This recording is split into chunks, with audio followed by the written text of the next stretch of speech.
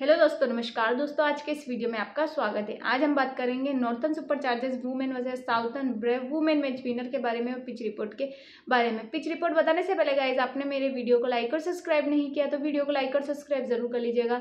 और the batting princess नाम से मेरा टेलीग्राम चैनल है।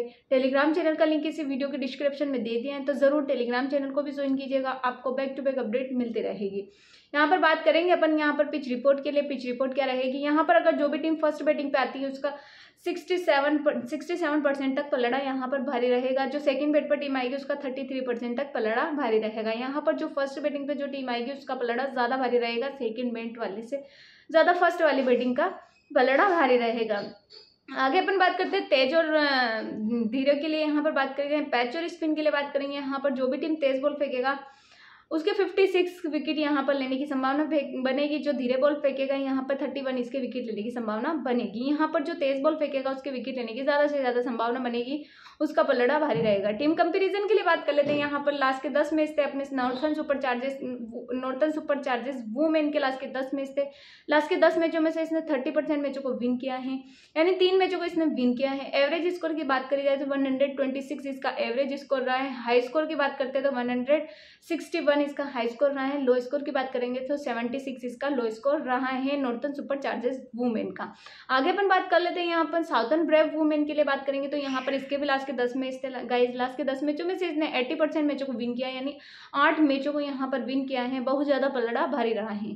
टीम कंपेरिजन के अकॉर्डिंग यहाँ पर एवरेज स्कोर की बात करी जाए तो वन इसका एवरेज स्कोर रहा है हाई स्कोर की बात करते हैं वन इसका हाई स्कोर रहा है लो स्कोर की बात करेंगे सेवेंटी इसका लो स्कोर रहा है गाइज़ आगे अपन बात कर लेते हैं, यहाँ पर टीम फ्रॉम के लिए बात करेंगे, यहाँ पर नॉर्थन सुपर चार्जर्स के लास्ट के पाँच मैच थे, पाँच मैचों में से यहाँ पर तीन मैच इसके लूज गए हैं, दो मैच इसने विन हुए हैं। साउथर्न ब्रेव की बात करेंगे तो यहाँ पर इसके भी पाँच मैच थे, पाँचों में से पाँचों ही मैच इसके विन हुए हुए हैं गाइज़ यहाँ पर यानी टीम फ्रॉम के अकॉर्डिंग भी इसका पलड़ा साउथर्न ब्रेव का ही पलड़ा ज़्यादा भारी रहा है।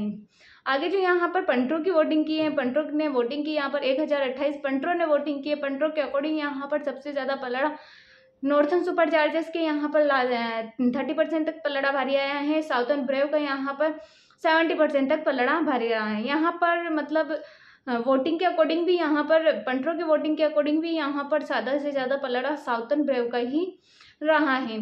यहाँ पर तो मैंने जो कैलकुलेशन लगाई है, मेरी कैलकुलेशन के अकॉर्डिंग मेरी सीजी के अकॉर्डिंग यहाँ पर मेरी टीम रहेगी साउथर्न ब्रेव वुमेन तो आपको भी साउथर्न ब्रेव वुमेन के साथ ही बने रहना है। बाकी की अपडेट्स मैं अपने टेलीग्राम चैनल में दे दूँगी। टेलीग्राम चैनल का लिंक इसी वीडियो के डिस्क्रिप्शन में दे दिया है। वहाँ पर टॉस प्रोडक्शन मैच प्रोडक्शन अपनी फाइनल अपडेट वहीं पर दी जाती है। ज़रूर टेलीग्राम चैनल को ज्वाइन कीजिएगा। बैक टू बैक मैच आपको पास मिलेंगे। चलिए, अभी यहाँ पर साउथर्न ब्रेव वुमेन के साथ ही बने रहिएगा। धन्यवाद दोस्तों। मिलते हैं अगले वीडियो में।